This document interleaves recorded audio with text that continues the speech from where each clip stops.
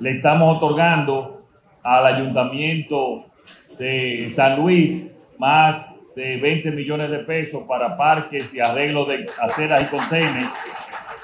Estamos viendo si en unas instalaciones que hay también el ingenio, establecemos, yo voy a llamar directamente a Rafael Santos, establecemos Infotep también para el tema de los empleos, que es el establecimiento de una zona franca, ya sea de proindustria o privada, entre San Luis y San Isidro para que quede equidistante de ambas comunidades. Vamos a arreglar también unas, en Dominicana se reconstruye unas 250 viviendas adicionales a unas 19 que se habían mejorado. Eso lo van a determinar también los mismos comunitarios para que sean las que más la necesitan.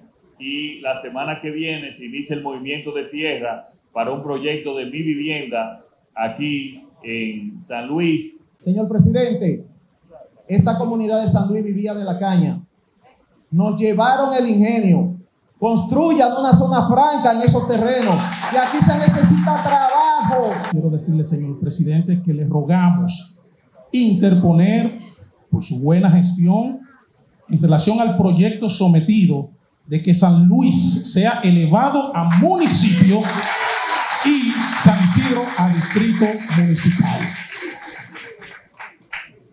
Yo Qué quiero decirle que yo estoy de acuerdo con. Excelente. Gracias, señor presidente.